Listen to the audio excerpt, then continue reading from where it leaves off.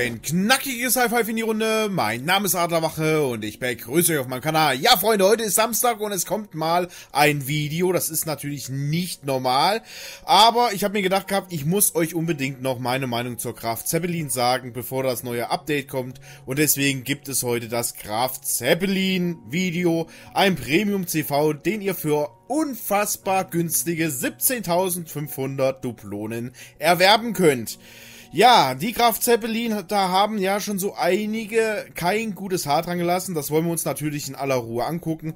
Und ich möchte so ein bisschen reflektieren, warum sie eigentlich hier bei uns im Spiel einen ziemlich schlechten Ruf genießt. Was sehr, sehr, sehr, sehr schade ist. Aber bevor wir das machen, Freunde, würde ich sagen, kommen wir erstmal zu ihrer Geschichte. Die Kiellegung war am 28. Dezember 1936 und der Stapellauf am 8. Dezember 1938. Sie war 262,5 Meter lang, 31,5 Meter Meter breit und hatte eine Gesamtverdrängung von 33.550 Tonnen. Die Kraft Zeppelin gehörte zur gleichnamigen Klasse, was viele wahrscheinlich gar nicht wissen. Es wurden zwei Schiffe für die Klasse geplant und auch angefangen. Flugzeugträger B, also ihr Schwesterschiff, wurde in Kiel angefangen, allerdings 1940 abgefragt. Dieser war noch in einem frühen Stadium. Hier mal ein Bild der Zeppelin im circa dem gleichen Baustadium, damit ihr erahnen könnt, wie weit das Schwesterschiff der Zeppelin war.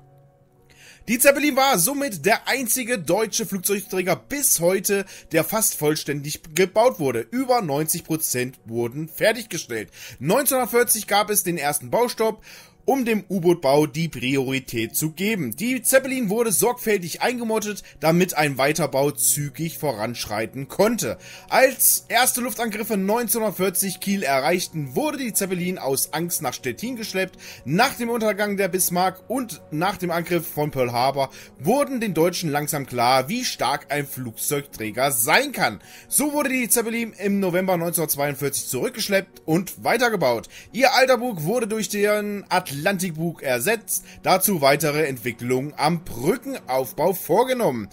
Um das zusätzliche Gewicht auch tragen zu können und nicht versehentlich zu kentern, bekam sie ihre typischen dicken Torpedowulste an den Seiten.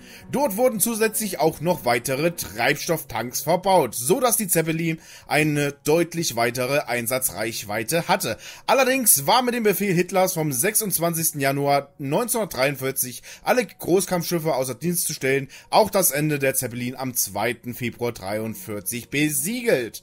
Sie wurde Ende des Krieges wieder nach Stettin geschleppt, um dort als Ersatzteilspender zu dienen. Am 25. April 1945 wurde sie durch ein Sprengkommando auf den Grund versenkt. Im März 1947 wurde sie von den Russen gehoben, anfangs als Wohnschiff genutzt und später als Testobjekt für Flugzeugbewaffnung beschossen.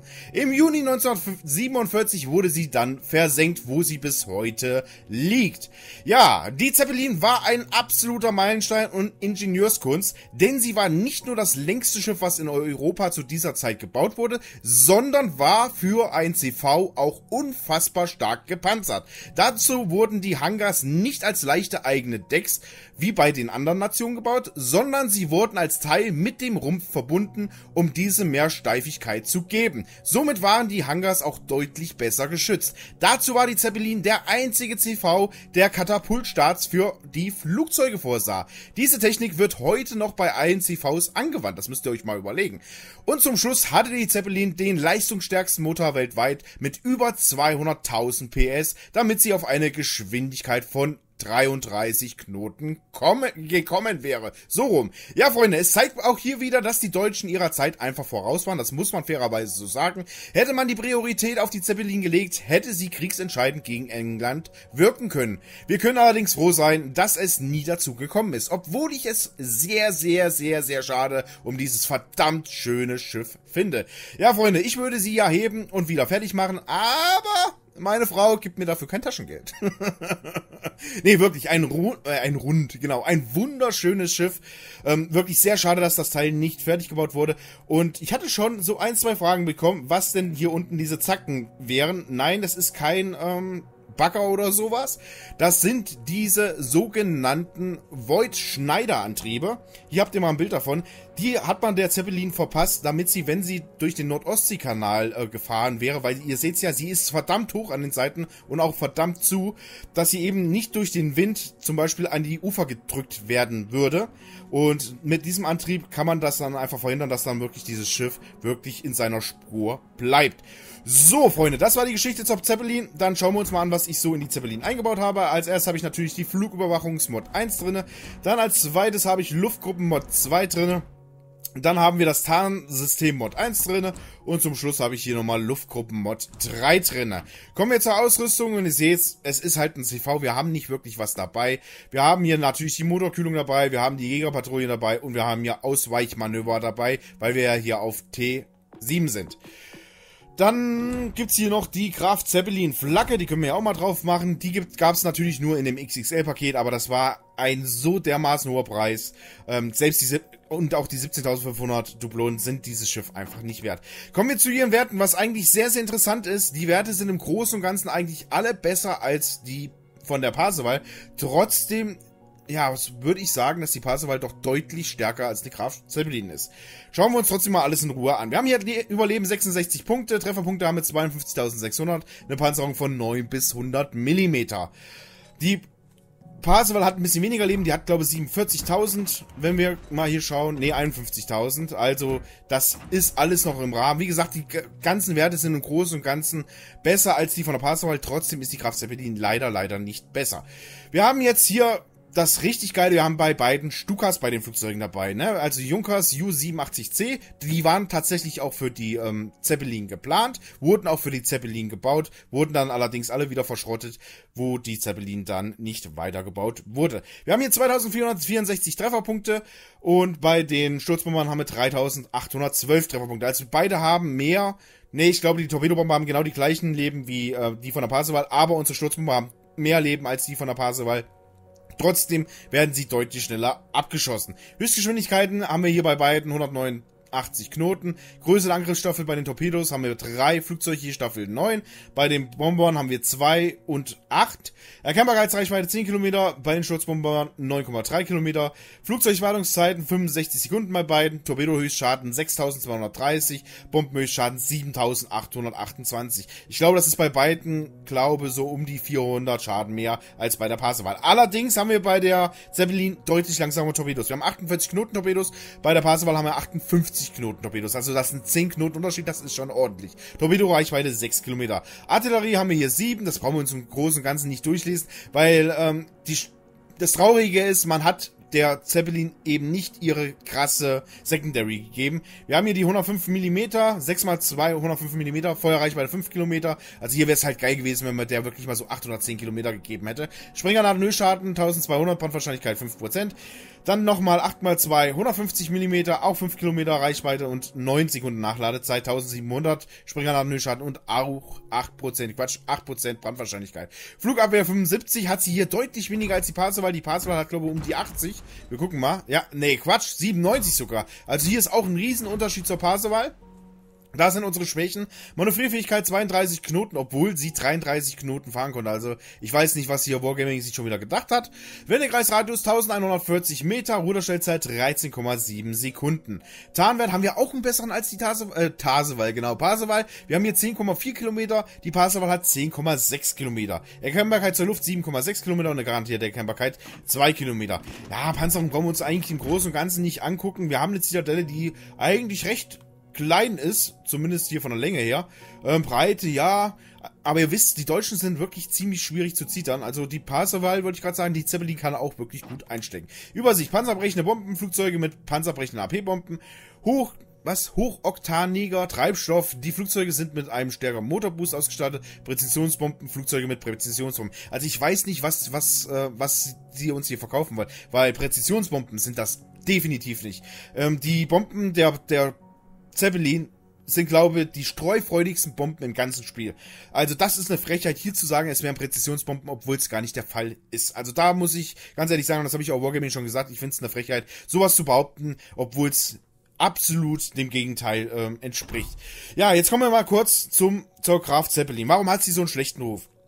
Die Zeppelin hat zwei riesen Nachteile.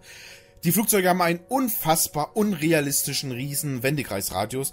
Und das ist das größte Problem der Flugzeuge, denn durch diesen riesengroßen Wendekreisradius werden eure Flugzeuge einfach unfassbar schnell vom Himmel geholt und ihr habt im Großen und Ganzen meistens wirklich nur die Möglichkeit, ein einziges Mal drauf zu fliegen, wenn sie nicht schon vorher runtergeholt werden.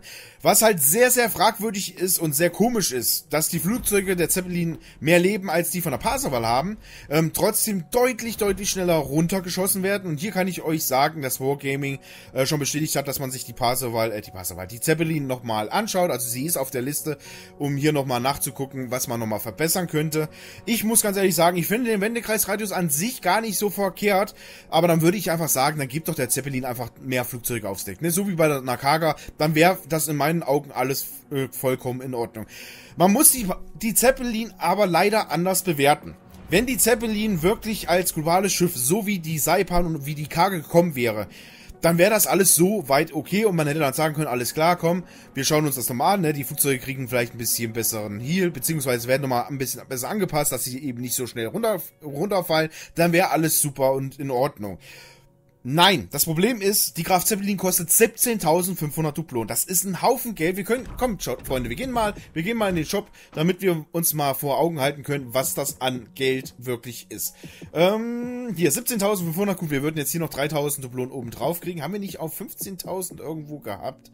Nee, also sagen wir mal, gehen wir mal 10 Euro runter, gehen wir mal so auf 54,99 Euro. Sagen wir mal, um die 50 Euro kostet die Graf Zeppelin. Das ist ein Haufen Holz, Freunde. Da, da kriegt ihr schon Triple AAA-Spiele für. Und ja, und im Großen und Ganzen ist sie einfach eine schlechtere Parseval. Und das ist einfach eine Frechheit seitens Wargaming. Das ist wirklich eine Frechheit, weil, ähm, warum soll ich 17.500 Duplonen investieren, wenn eine Parseval im Großen und Ganzen eigentlich alles besser kann? Warum soll ich 17.500 Dublonen für ein Schiff investieren, was somit der in Blackable wirklich so das Schlusslicht der 7er CVs sind? Ich finde es nicht gut und ich habe auch schon Wargaming gefragt, warum man sich bei der Kraft Zeppelin dazu entschieden hat, sie für Dublonen zu bringen und eben nicht als Büroprojekt, so wie die anderen auch, so dass wirklich jede Nation ähm, einen fairen, ja, Fairness halber die gleichen Rechte hat. Daraufhin hat mir Wargaming leider keine Antwort gegeben. Also mir wurde nicht gesagt, warum man sich dafür entschieden hat, eine Graf Zeppelin ähm, als Duplonenwert zu bringen und die anderen als Büroprojekt zu bringen. Ich denke mal, das ist aber wie gesagt nur meine Vermutung, man hat das einfach gemacht gehabt, weil die Spieler auf die Kraft Zeppelin einfach sich am meisten gefreut haben und sie hat einfach so von dem, von dem, ähm, wie soll ich das sagen, Erkennbarkeitswert her, einfach den höchsten Anspruch, ne? Also das muss man einfach so sagen. Jeder kennt die Zeppelin, jeder feiert sie irgendwo auf PC mit der Secondary. Hat man natürlich krasse Videos gesehen, wo die Leute einfach mit dem Ding nach vorne gefahren sind und die Secondary hat einfach alles niedergemäht. Das haben wir natürlich bei uns nicht. Bei uns wurden sie mal, wurde sie mal wieder so kastriert, dass sie im Großen und Ganzen einfach leider, leider unterdurchschnittlich ist. Ich persönlich muss ganz ehrlich sagen, ich habe sie jetzt ein paar Runden getestet. Ähm, ihr dürft euch hier nicht wundern, dass ich nur 8800 LTP habe. Ich habe nämlich nochmal globale umgewandelt gehabt, deswegen ist hier auch meine Basis bei null. Ähm, ich muss ganz ehrlich sagen, sie ist okay. Ich würde halt wirklich den, den, den Wendekreisradius von den, von den Fliegern etwas herabsetzen oder wenn man das so lassen möchte, dann einfach mehr Flugzeuge aufs Deck stellen. Dann wäre das für mich absolut okay. Trotzdem finde ich 17.500 Dublon für dieses Schiff einfach nicht gerechtfertigt. Muss ich ganz ehrlich so sagen. Sie hat keinen, keinen wirklichen eigen, ja, wie soll ich sagen, eigenständigen Merkmal. Ich weiß, ich komme gerade nicht dem Werk. Sie hat einfach keine charakteristische Eigenstellung. Ja, die Bomber haben ein anderes Zielsystem. Das finde ich persönlich geil. Gefällt mir auch viel besser als das von der Parseval. Aber das war es im Großen und Ganzen schon. Ne? Und die Flugzeuge fliegen halt, beziehungsweise die Flugzeuge werden einfach unfassbar schnell runtergeholt. Und das finde ich halt sehr, sehr schade. Also man muss mit der Zeppelin, man kann mit der Zeppelin wirklich gute Runden fahren. Und ich muss auch ganz ehrlich sagen, ich habe wirklich viele gute Runden mit ihr gefahren. Aber man muss sich deutlich mehr anstrengen als bei den anderen CVs, um überhaupt auf dieses Niveau der anderen CVs zu kommen. Und das finde ich einfach nicht gerechtfertigt. Ich bin einfach ein Fan davon, dass alle CVs auf einer auf einer Niveaulinie sind und da fehlt die Kraft Zeppelin und auch die Implacable. Gut, die Implacable habe ich jetzt nach den Buffen noch nicht gespielt, aber die zwei, muss ich ganz ehrlich sagen, haben sonst so halt, ähm, ja, aus dem, sind aus dem Niveau so ein bisschen herausgefallen und waren halt wirklich unterdurchschnittlich.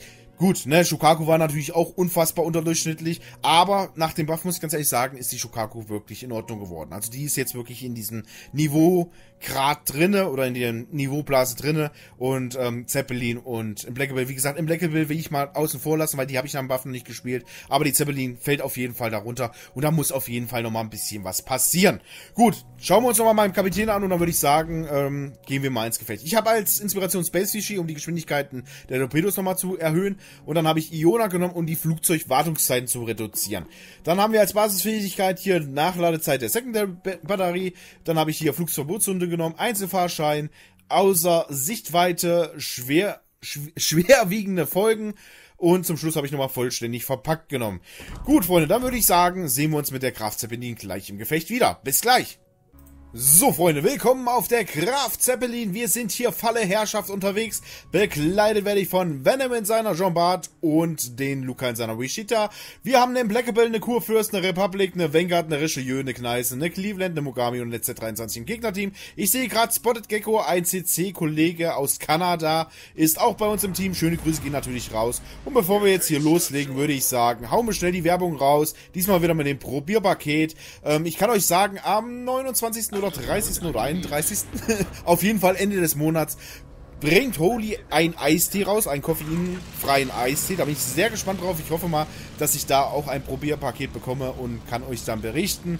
Ich sage ja immer wieder, schaut, was euch gefällt, also beziehungsweise holt euch das Probierpaket, damit ihr sehen könnt, was euch gefällt und dann könnt ihr gerne zuschlagen und mit den Codes ein bisschen was sparen. So, wie ihr seht, haue ich hier schon mal einen Free Drop raus, um hier einfach meine Flugzeuge zu, zu schützen, beziehungsweise damit ich zum Schluss der Runde noch mehr wie genügend Flugzeuge habe. Und ähm, hier merkt man schon, das erste, was mich massiv enttäuscht, erstens habt ihr gerade gesehen, sehr präzise Bomben, es ist einfach nur lächerlich. Es ist einfach eine ziemlich bescheidene Aussage, was hier Wargaming trifft, weil ähm, präzise sind die Bomben definitiv nicht. Und ähm, sie fliegen halt, ihr seht es immer wieder oder meistens äh, an den Kreisrand was ich halt geil finde, dass wir hier so einen kleinen Kreis haben. Das hat die Parsewahl nicht. Ne? Da haben wir eher das Oval. Hier haben wir einen schönen Kreis. Das mag ich sehr gerne. Das gefällt mir bei der Kraft Zeppelin deutlich besser als bei der Parsewahl. Was mich massiv enttäuscht, ist der Jericho Sound oder Jericho Sound von den Trompeten, beziehungsweise der Sound von den Jericho Trompeten, so rum. Ähm, der ist massiv leise in dem Spiel, kommt viel zu spät, also der kommt erst, wenn die ähm, Stukas im Großen und Ganzen schon im Endflug sind. Die kamen eigentlich beim Sturzflug. Jetzt hätten sie schon kommen müssen. Jetzt müsste hier schon richtig miau machen. Macht sich, es klingt alles sehr blechernd. Ähm, es ist sehr, sehr enttäuschend. Und das ist für mich persönlich eigentlich der einzige Grund gewesen, warum ich mir zum Beispiel eine Graf Zeppelin gekauft hätte. Da hat Wargaming auch auf ganzer Linie versagt. Das habe ich natürlich Wargaming auch schon geschrieben gehabt und die Antwort von Wargaming war, nein, das ist so gewollt, dass es so spät kommt und so leise ist und so bescheiden klingt äh, weil es sonst sehr störend wäre. Hallo, es ist ein Stuka-Sound. Wo ist denn ein Stuka-Sound störend? Das ist Porno im Gehörgang, Alter. Das ist das geilste Geräusch, was es auf dieser Welt gibt. Ne? Am liebsten würde man sich wünschen, dass man, wenn man mit seiner Frau ein bisschen, ne, ihr wisst, was ich meine, dass die genauso klingt, wenn die am Höhepunkt ist. Oder? Mal ganz ehrlich, also, das kann ich nicht nachvollziehen. Das kann ich beim besten Willen nicht nachvollziehen. Das muss ich hier mal ganz ehrlich an dieser Stelle sagen. Ich bin sehr enttäuscht, dass der so saumäßig leise ist. Ähm, es wird sich leider nicht ändern. Gut, kommen wir jetzt trotzdem zur Kraft Zeppelin, was noch ihre großen Probleme sind. Erstens, wie gesagt, der riesen Wendekreis von ihren äh, Flugzeugen. Ich weiß nicht, ob wir es jetzt sehen oder ob ich meine Flugzeuge zurückschicke. Ich glaube, ich schicke sie zurück. Jawohl. Ähm, zwei Torpedotreffer auf die Cleveland waren es, glaube ich, oder auf die Attacken. Ich bin mir nicht mehr ganz sicher. Ihr habt es natürlich eben gesehen. Erster Anflug auf den Kurfürsten. Direkt einfach alle Flugzeuge verloren. Gut, wir sind auch nur mit zwei Flugzeugen äh, hingeflogen, aber trotzdem habt ihr gesehen, was halt die Schwächen sind. Ähm, wie gesagt, der Wendekreisradius ist sehr bescheiden, was ich auch sehr, sehr stark bemängele bei der bemängele bei der Graf Zeppelin dass die Wartungszeiten so unfassbar hoch sind, beziehungsweise die Einsatzbereitschaft wieder so dauert. Ne? Also wenn wir jetzt attackieren, ähm, haben wir ja, ich sag mal in Anführungszeichen, diesen Cooldown rechts, bis wir wieder angreifen können. Und das ist bei den Flugzeugen von der Zeppelin unfassbar hoch, dass man wirklich extrem lange braucht, bis man überhaupt wieder angreifen kann. Das finde ich überhaupt nicht gut gelöst. Also da muss auf jeden Fall nachgebessert werden. Wie gesagt, der, der Wendekreisradius kann von mir aus so bleiben. Aber dann muss, wie gesagt, die Einsatzbereitschaft wieder deutlich schneller da sein. Und zweitens, da würde ich einfach ein bisschen mehr Flugzeuge aufs Deck bringen. Was ich aber sehr, sehr geil finde, ist der Durchschlag von diesen Bomben. Jetzt gehen wir hier auf Kurfürsten. Zack, Zitadelle. Also ihr könnt mit den Stukas richtig schön tief fliegen und macht wirklich fast ausschließlich mindestens eine Zitadelle. Das finde ich halt sehr, sehr geil. Ähm, das ist so ein kleiner Pluspunkt gegenüber der, der Parseval. Da tut man sich schon ein bisschen schwerer mit der Parseval, sich das zu drücken. Also das finde ich bei der Kraft 17 schon geiler. Ich weiß nicht, ob die Stukas eventuell einen besseren Pen haben. So, fliegen jetzt hier nochmal auf den großen Kurfürsten. Und zack, wieder eine Zitadelle. Also ihr seht's, ne? Die Zitas kann sie wirklich gut machen. Das kann sie wirklich, wirklich gut. Also es gibt auch positive Aspekte der Kraft Zeppelin. Aber für Leute, die sich sagen, ah, ich bin mir noch unschlüssig, ob ich sie mir hole, ich würde erstmal warten. Wargaming hat ja bestätigt gehabt, dass sie auf der Liste steht, dass sie nochmal äh, überprüft wird. Ich denke, dass da auch nochmal ein bisschen was passieren wird. Ich würde einfach so lange warten, bis ähm, der Buff in Anführungszeichen kommen wird. Wenn es ein Buff wird. Aber ich würde, wie gesagt, erstmal warten, bis Wargaming da vielleicht nochmal nachgeschaut hat, was da das Problem an der Kraft Zeppelin ist. Weil, was ich wirklich sehr komisch finde, dass die Flugzeuge mehr TP haben ähm, und trotzdem mit am schnellsten von allen Flugzeugträgern runtergeholt werden. Das finde ich halt ein bisschen komisch. Und ich glaube, das ist auch nicht ganz so richtig. So. Wie gesagt, zwei Torpedos, wollte ich gerade sagen, zwei zieht er schon auf den Kurfürsten gedrückt. Da ist die Cleveland, die fliegen mir jetzt hier mal an. Ist natürlich auch ein Risiko, weil die Cleveland eine ziemlich gute Flak hat. Na, sie bremst ein bisschen ab und dahinter steht die Atago. Aber das sieht gut aus, Freunde. Also zwei sollte sie sich auf jeden Fall gönnen. Ja, das sieht gut aus. Zack, zack, zwei Torpedos, ne, Wassereinbruch. Und ihr seht's, ne, guckt euch diesen riesen Wendekreisradius an. Und das ist halt ein Riesenproblem, weil genau in dem Moment werden euch einfach massiv die Flugzeuge runtergeholt. Das ist wirklich nicht schön. Ja, jetzt dreht sie wieder ein. Und ich dachte, okay, die wird, die wird da beachen. Deswegen bin ich jetzt ein bisschen weiter nach links gegangen. Aber ja, doch, einen sollte sie kriegen, oder? Oh, hat die ein Glück. Hat sie ein Glück. Eklig. Schade, ich hätte sie doch ein bisschen weiter rechts setzen sollen. Dann hätte sie auf jeden Fall ein genascht. Aber das ist nicht schlimm. Ja, wie gesagt, der Sound von den Stukas ist halt auch eine riesen Enttäuschung. Also ganz ehrlich, Wargaming, macht das Ding sattig. Auf dem PC klingt das deutlich besser. Ich, ich habe hab zwar die, die deutschen CVs schon Ewigkeiten mehr auf dem PC gespielt, muss ich demnächst unbedingt mal wieder machen, aber ich bin der Meinung, dass es auf dem PC deutlich klarer klang und auch einfach wirklich, wie die Stukas auch sich richtig angehört hatte. Also da muss auf jeden Fall nachgebessert werden. Das, das klingt scheiße. Das klingt einfach scheiße. Das brauchen wir nicht schön reden, das klingt scheiße. So, da ist die Republik oder Republik. Ui. Die fliegen wir jetzt auch mal angucken, ob wir da auch Zitas drauf knallen können. Fliegen schön tief schmeißt schön mal hinten rein und zack, wieder eine Zita. Also ihr seht, die Zitas kommen wie, äh, wirklich am laufenden Band bei der Zeppelin. Also das finde ich wirklich geil. Das habe ich so bei der Parsewahl nie gehabt, bin ich ganz ehrlich. Gut, das liegt wahrscheinlich daran, dass die Bomben bei der Parsewahl nochmal ein Tickchen mehr streuen. Aber wie gesagt, Präzisionsbomben sind das definitiv nicht. So. Und wieder eine Zitadelle. Also wir sammeln hier Zitas ohne Ende. Der ähm, Venom fährt da vor mit seiner Jean Bart und möchte hier die Republik ein bisschen beliebäugeln. Aber ihr seht schon, ne? Auch wieder so typische Jean Bart. Spielt sie jetzt nicht von Venom, sondern von der Republik. Äh, Republik. Schön einfach rückwärts fahren. Gut, er hatte jetzt hier auch keine anderen Möglichkeiten mehr. Das muss man fairerweise sagen. Er ist ja anfangs gepusht.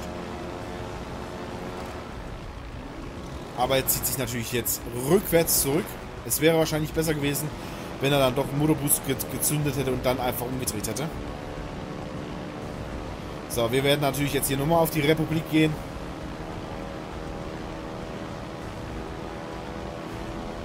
Aber sie sind einfach nicht die schnellsten, ne? Sie sind wirklich nicht die schnellsten. Trotzdem muss ich ganz ehrlich sagen, also ich habe ja wirklich viel Feedback von euch gelesen. Ich war ja im Urlaub zu dem Zeitpunkt, wo sie rauskam und habe mir natürlich auch ähm, das Video von, von Venom angeguckt, gehabt, der das wirklich sehr, sehr gut gemacht hat.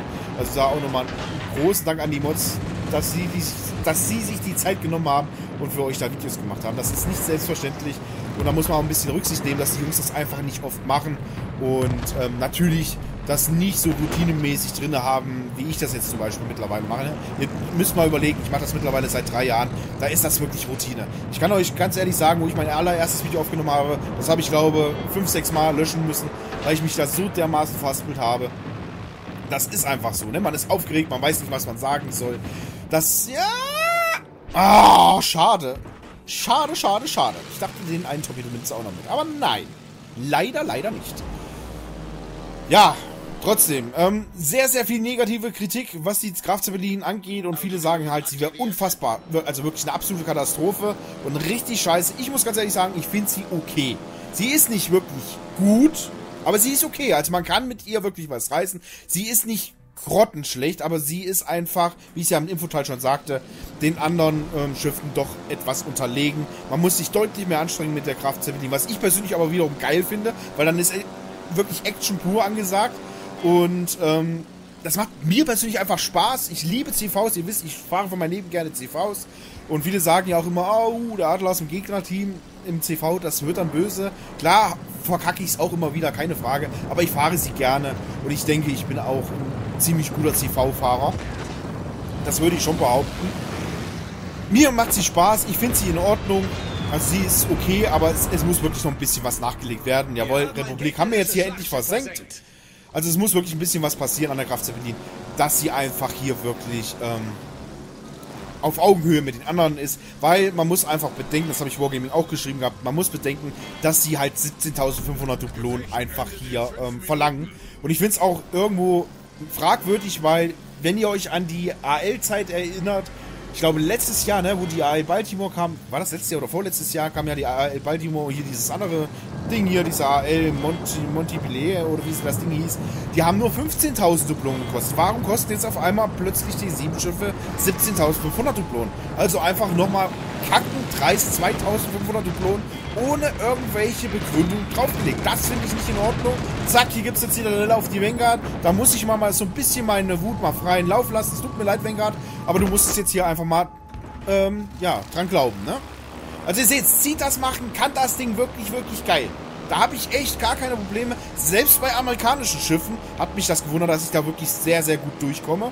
Ne, das war, ist ja sonst immer so eine, ja, wie soll ich sagen, immer so, so ein Ding gewesen, wo man sagt, boah, das ist echt knackig, gerade die High-Tier-Amis. Aber äh, gar kein Problem. Die Amerikaner, die kriegen da genauso in, ins Gesicht wie alle anderen auch. Und das gefällt mir. Also der, der Bombenschaden oder der, die, die, die ähm, Penetration von den Bomben ist einfach unfassbar geil. Gefällt mir richtig gut. So, mal gucken, ob wir hier die, die Vanguard noch abstauben können. Nein, da kommen die Kugeln geflogen, die Granaten. Nein, Gascon, ich mag dich nicht. Dir helfe ich nicht. Hoffentlich wirst du versenkt. Ich fliege jetzt zurück. Natürlich mache ich das nicht. Aber es hat mich trotzdem geärgert. Ich hätte gerne noch einen Kill gehabt. So, dann gehen wir mal. Ich glaube, ich bin jetzt hier auf die, ähm, wie heißt sie, auf die Kneisenau gegangen, weil die Kneisenau einfach eine deutlich schlechtere Flak hat als die äh, Richelieu. Deswegen haben wir uns jetzt hier die Kneisenau angeguckt. Und die Kneisenau hat hier auch noch schön viel Leben. Und ihr seht, es ist doch eine sehr ausgeglichene aber für mich irgendwie ruhige Runde. Also ich fand die Runde sehr entspannt.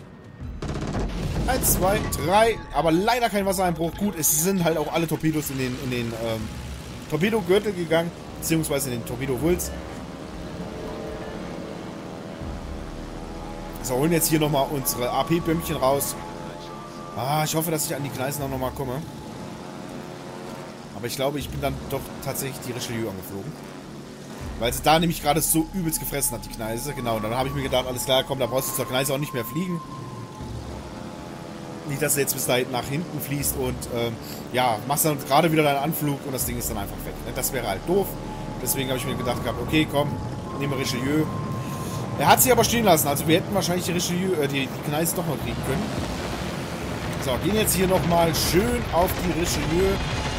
Ah, ein bisschen früh abgeschmissen zwei Durchschläge gemacht. So, und ihr seht's, ne? Also der Wendekreis, der ist einfach eklig. Der ist wirklich eklig. Hätten wir andersrum gedreht, hätten wir sie wahrscheinlich nochmal besser anfliegen können. So, aber Luca hat sie hier schön mit HE penetriert, dass sie halt so gut wie keine Flak mehr hat. So, drehen jetzt hier nochmal.